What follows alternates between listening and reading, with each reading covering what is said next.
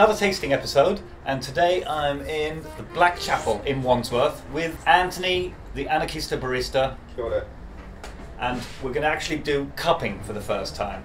And today we're cupping three from Workshop. So we have one which is called Buena Vista. It's from Colombia and it's a washed. One called Sitio Boa Vista, which is from Brazil, and I believe it is a natural. Most coffees from Brazil are naturals. And the Finca La Pavas. Finca La Pavas is another Colombian. Mm. Clean is what I get straight away from the uh, from the Colombian washed from Buena Vista. Sitio Boa Vista, very different. This one's a natural.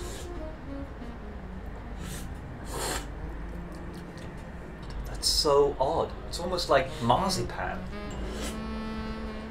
Yeah, there was a sort of marzipan sweetness right at the front end, though. I don't know, it's weird. It's so weird that one.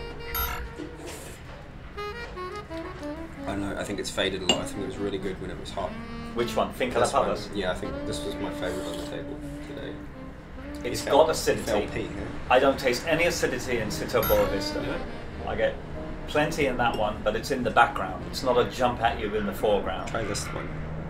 This bowl.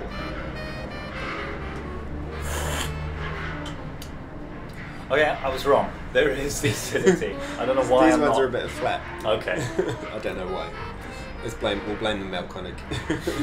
There's underlying uh, similarities as well. Um, I think they've all got a sort of um, sort of dry nut.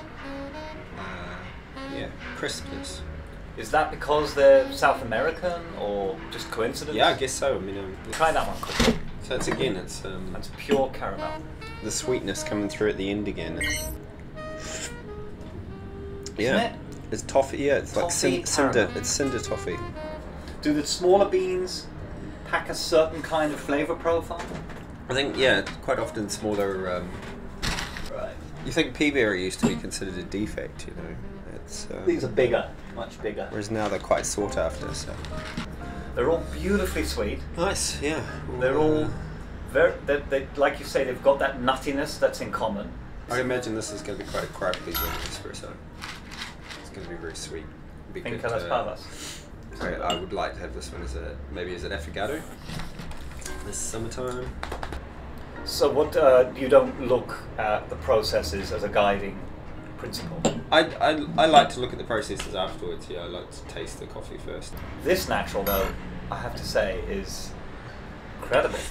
'Cause It's got that. It's got a balance that really puts the the funky flavors of a natural right into the background. So what they say is that the handpicked cherries went through a 36-hour fermentation process before being washed, and apparently that's a very risky, delicate process to go through. There's a risk of over fermentation. But what the results are, I don't know exactly. What does that do to the coffee that's different than just standard washing? I gave it quite a low score on acidity. Um, but uh, Gives it a that, there was, dryness. there was also another. I mean, the other the other natural was quite high in acidity.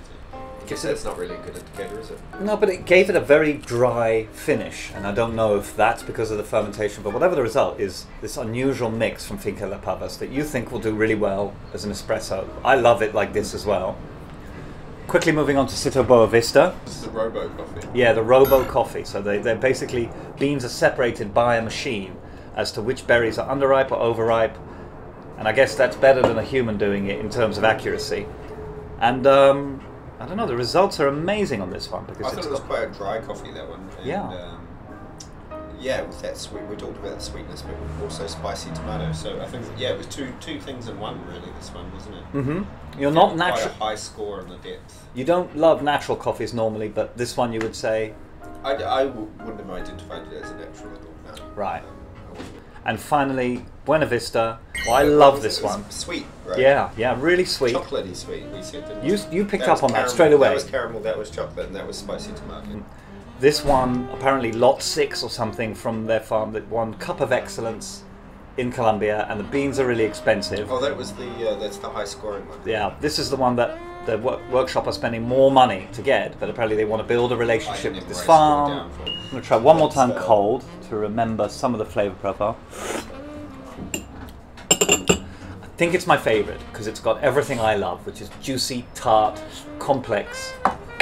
Jumps Yeah, right at you. It's It's, um, some fruit, yeah, fruit acidity going on there now. it's cold, but it hasn't lost any of its complexity, which is like really good. raspberry, berry, something berry. Well, this one, this one gets my vote. That's my favorite. Right, this one gets my vote. Well, then this one, this Buena one, Vista. This one, the Boa, Boa Vista one's the weird award. Like- Yeah.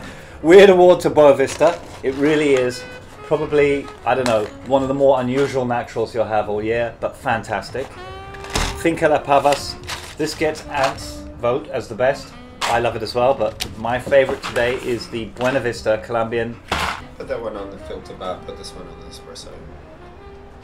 Nice. Take that one home.